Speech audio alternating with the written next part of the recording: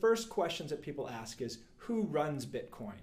And earlier um, I said that there's no central authority. Well, that's absolutely true. There's no one that runs Bitcoin um, from an organizational or administrative perspective. The, the running of Bitcoin takes place through computer programs that are running on many different people's computers simultaneously. And it is that computer code that's running decentralized nature on different people's computers, talking to each other from many different places, uh, to many different places, that together run Bitcoin. And so while we might be more familiar with the, how the US government runs the US dollar, when we say who's running Bitcoin, uh, the right answer is probably to say that there's computer code running on people's machines that is keeping the Bitcoin system working and operating. All right. The technology behind Bitcoin uh, was introduced in a white paper around 11 1 2008. And what was introduced in this paper was an algorithm. And it's important to keep the distinction that we've talked about already between an algorithm and a program. Uh, keep those ideas separate in your head because the initial introduction of Bitcoin was as an algorithm or an abstract process by which many different computers could work together in order to run a digital currency. It's an algorithm because it was sort of it was described in a way that was separate from a particular program that um, runs the Bitcoin algorithm. Uh, and so now as a result, we can find many different programs that run the Bitcoin algorithm um, on different uh, computer systems. We might find them on uh, Windows computer systems. We might find Bitcoin clients or Bitcoin programs that run on Macintosh computer systems or that run on mobile platforms. All there's not one program called Bitcoin. There are many programs which run the algorithm, uh, which was first introduced in uh, 2008 uh, by an author whose name was listed on this paper as Satoshi Nakamoto. Now, this, this name is widely believed to be a pseudonym, meaning that um, most people don't believe that there's actually a person named Satoshi Nakamoto. Um, after publishing that initial paper, he eventually disappeared. Uh, and if you do an analysis of the text in this paper, the spelling and the formatting suggest that it's probably a British author or someone who is trained uh, to speak English or learn English or learned English uh, in a British speaking um, or in, in, a place with a British accent or British um, syntax. Other theories about uh, who Satoshi is is that it isn't a single person, but it's actually a collective effort of many different people working together under one name of Satoshi Nakamoto. And then by putting this paper out there, they, they um, uh, quickly wanted to become anonymous for reasons unexplained. Well, the passwords uh, for the initial um, for the initial bitcoins that were out there, and we'll talk about where passwords come into the system in a second. But the initial passwords that were out there were turned over to a, uh, a man named Gavin Andresen, who's uh, considered to be the lead developer on the reference program or the or the example program uh, for the Bitcoin algorithm. And, uh, and then and Satoshi disappeared. And there's been some news news articles recently about uh, journalists who have been trying to um, locate and identify uh, the person who might be the original uh, Satoshi um, author of this paper. So that's where it started. It started with a white paper in 2008 describing the algorithm for Bitcoin. All right? Now, Satoshi is a term that refers to the smallest unit of Bitcoin that can be represented by the system. And so that's approximately uh, one ten thousandth of a cent uh, if you were to translate the Bitcoin value into uh, dollars um, at the current rate. Um, and so that's that is a um, the smallest number that can be represented uh, in the Bitcoin system uh, for the transfer of value between different um, between different uh, computer programs. Um, in, in additional, additionally, that original client, uh, the computer code that was turned over to Gavin Andresen, is now called the Satoshi client. And that, the Satoshi client is a specific program. It is a program that has implemented the Bitcoin algorithm. It is one program of many that exist now, but it's considered kind of a standard or a reference or a benchmark uh, that other programs emulate on their own operating systems and in their own programming languages. uh, in order for all the clients to work together well. Um, so where can we find this? Well, it turns out that the computer code for this Satoshi client is available online. It is an open source uh, program, which means that the code, like the algorithm, is not owned by anyone.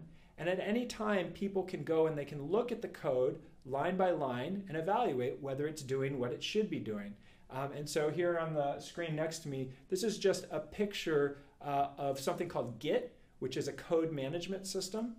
And it shows all the different changes that uh, different developers have made to the client uh, over time. And this is a particular snapshot um, in 2013. And you can see on the right the authors of the code, and you can see that Gavin Andresen is still, is still a major participant, but there are several other people who are contributing code uh, to the Satoshi client. All right? One particular program implementing the Bitcoin algorithm. Code is available for free. Okay. Um, it's open source and you can download it.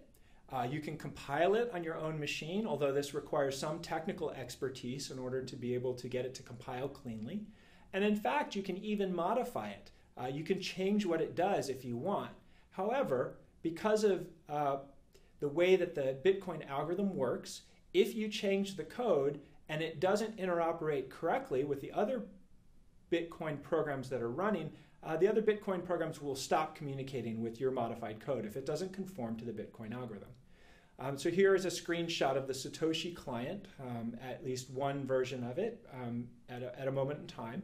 And you can see here that it, it calls itself a wallet. And so this is a wallet program that enables you to uh, have a certain amount of Bitcoin and to send and receive Bitcoin transactions from other people.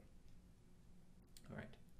So unlike the way you might think of US dollars, you think of US dollars when they're in your wallet. You think of you think about it in terms of you holding the dollars. The dollars are in your wallet, you can pull them out. Um, physically, you can verify them. You can establish that you hold that you have them physically by looking at them. You can see serial numbers. Bitcoin's a little different. Bitcoin exists purely in a digital form, and as a result, it's not something that you can exactly hold. And so the way in which Bitcoin is transferred from one person to another is a little bit unusual.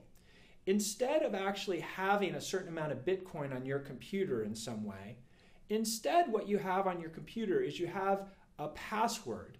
Um, and that password uh, proves that you have rights to a certain amount of Bitcoin. And those rights can be validated by presenting the password and um, having all of the clients in the system check your password to make sure that, yeah, you do in fact have the rights uh, in order to spend a certain amount of Bitcoin. The, the, there's a long record of all of the different holders of Bitcoin that's called the blockchain.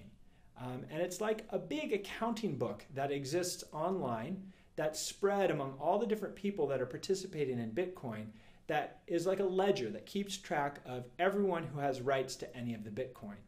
All right, and so what you can see here on the screen is you can see uh, one pair of cryptographic keys uh, that uh, could be used to, um, uh, to spend Bitcoin, to, to assert your right to a certain amount of Bitcoins by presenting this password.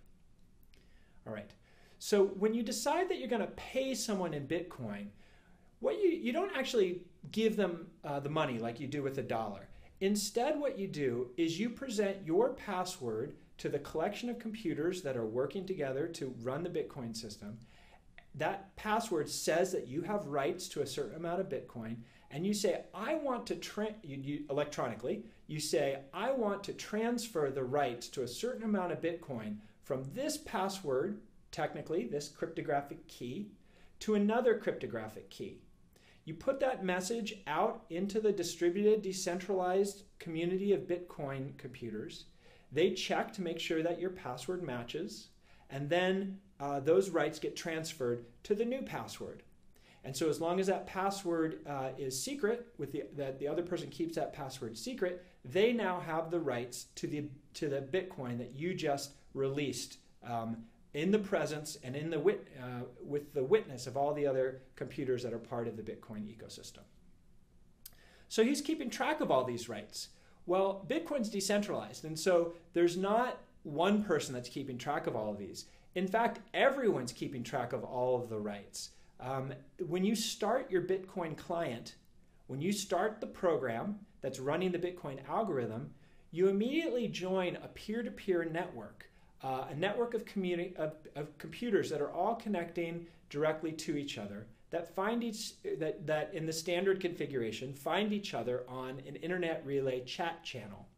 Um, and this can of course be changed through configuration options but in the basis in the basic um, default settings of the satoshi client this is how computers find each other and the first thing that your client has to do when you turn it on for the very first time is you have to go out and you have to ask all the other computers that are in the Bitcoin ecosystem to send you the long uh, the long um, accounting book or the long ledger of transactions that have transpired from the beginning of the uh, Bitcoin, um, from the origin of Bitcoin until now. And this complete ledger is called the blockchain. It lists all the transfers of rights that have enabled uh, one person's uh, claim to Bitcoin to be transferred to another person's claim to Bitcoin. All of these um, rights transfers are all recorded in this ledger book um, called the blockchain. Um, all of the computers that participate in this ecosystem all have their own copy of the, uh, of the blockchain and um, can verify the um, validity of all of the transactions that have happened in the blockchain through cryptographic protocols or through a series of specialized passwords.